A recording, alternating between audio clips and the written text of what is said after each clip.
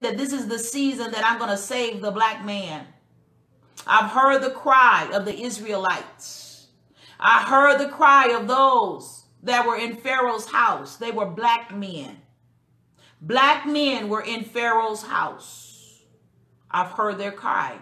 God is saying, I heard their cry and I'm going to save them. Hallelujah. You're going to you're getting ready to hear about reparations. Hallelujah. They're, they're going to pass a law for this reparations for the struggles of the African American people. Hallelujah. God said it's going to come in waves. The passing of the law is going to be like in waves. I see like three part waves, three part laws. The first law, you're going to get this. The second law, you're going to get that. The third law, you're going to get this. But God is saying that it's going to take an angel to come and remove it after the first one. Because after the first one, they're not going to want to do the second and the third one. But God is saying that it's reparation time. It's payback time. God is saying the recompense of their reward. You're getting the African American man, the African American family is getting ready to get a blessing.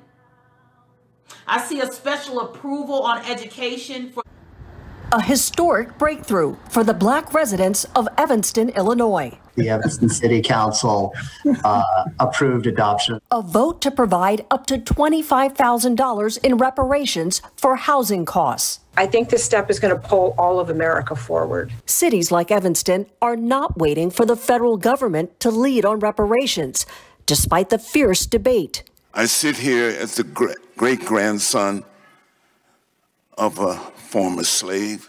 How could we pay for your great great grandfather being burned to death? No one currently alive was responsible for that. There's no other way to close the racial wealth gap except by transferring wealth. Keep your reparations. I do not want the dependency. Across the country, in the throes of Black Lives Matter protests, last summer, Asheville, North Carolina City Council took the lead by voting for $1 million in community reparations.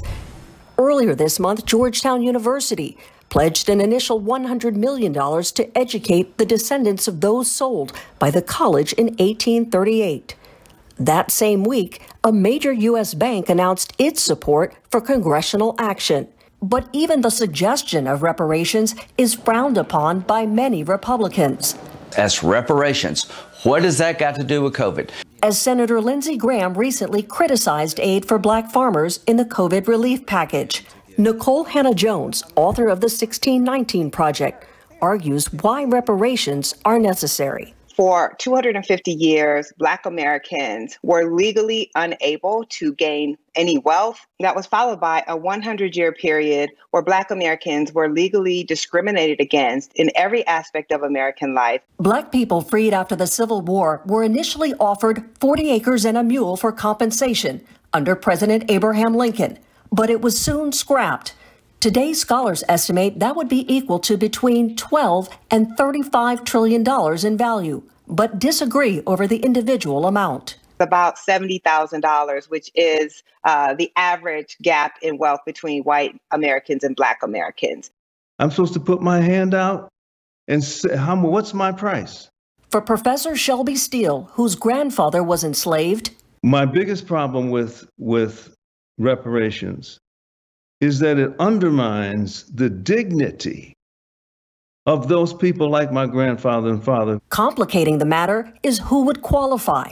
Do you go to 23andMe or a DNA test to determine the percentage of blackness? This was our life, the back of a beaten slave. Congresswoman Sheila Jackson Lee reintroduced H.R. 40 in January, a bill rejected for more than 30 years, which calls for a commission to study reparations on the federal level. It is a reckoning uh, that it is time uh, and that it is not legislation filed in anger. But for Republican Senator Mitch McConnell, the debt to blacks has long been paid.